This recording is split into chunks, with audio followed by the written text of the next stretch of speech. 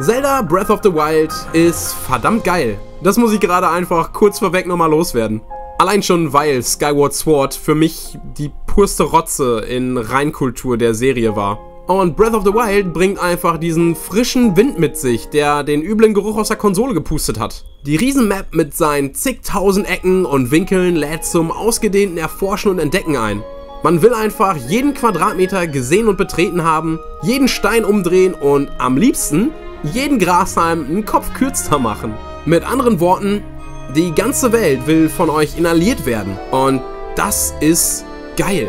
Das Verlangen hatte ich so arschlange schon nicht mehr. Vor allem ist es auch einige Zeit her, dass man sich selber an ein größeres Spiel gewagt hat. Das Ganze hat aber auch einen triftigen Grund. Denn so umfangreich und süchtig machend die riesigen Welten in so vielen Games sind, so gern ich hingehe und Teil von Hyrule werde und mich zwischen Bergen, Wiesen und dem schier endlosen Horizont verliere, so übel stößt mir eine einzige Sache immer wieder auf. Die Zeit, die mich das viel Erkunden kostet. Versteht mich nicht falsch, was Games betrifft, die einen lange vor die Konsole fesseln. Denn hier bekommt man auf alle Fälle was für sein Geld an Spielzeit geboten im Vergleich zu so manch teurem Spiel, das nach drei bis sechs Stunden vorbei ist und danach nie wieder von euch angefasst werden will. Aber ich persönlich bin über die Jahre vermehrt Fan von wesentlich linearen und bedeutend kürzeren Spielen geworden. Natürlich habe auch ich mir als Kind immer größere Welten zum Zocken gewünscht, in die ich eintauchen kann und auch nach Monaten noch etwas Neues entdecken und zu Gesicht bekommen kann.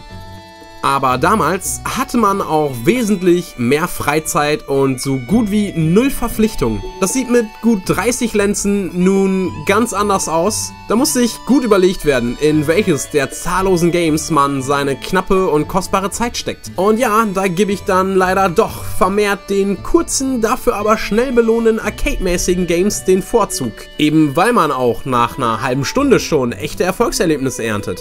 Das soll jetzt nicht heißen, dass man sich nur noch den schnellen Spielen für zwischendurch widmet, weil ich dann ja gleich auf meine komplette Sammlung verzichten kann und nur noch auf Mobile switchen darf. Aber nein, ich wollte nur einmal zum Ausdruck bringen, wie schön es doch ist, nach so langer Zeit mal wieder einen Titel zu haben, der mich echt begeistert und für viele Stunden vor die Konsole zieht mir aber im selben Moment so viel Zeit raubt, dass es schon nicht mehr feierlich ist. Aber hey, das ist einfach nur Meckern auf hohem Niveau, denn ich weiß ganz genau, dass es da draußen zahllose Zocker gibt, denen genau diese Fülle an Content gerade recht kommt und überglücklich für jede Minute sind, die sie mit diesem Spiel verbringen dürfen. Und damit meine ich vor allem die Schüler und jüngeren Zocker da draußen. Ihr habt noch was an Zeit, die ihr mit Vergnügen in die Games ballern könnt. Und da bin ich ein bisschen neidisch drauf. Aber vergesst nicht, dass es da draußen noch eine Welt gibt, die neben der virtuellen existiert. Und sorry für das Moralapostel-Geheuchel. Gott, ich werd alt.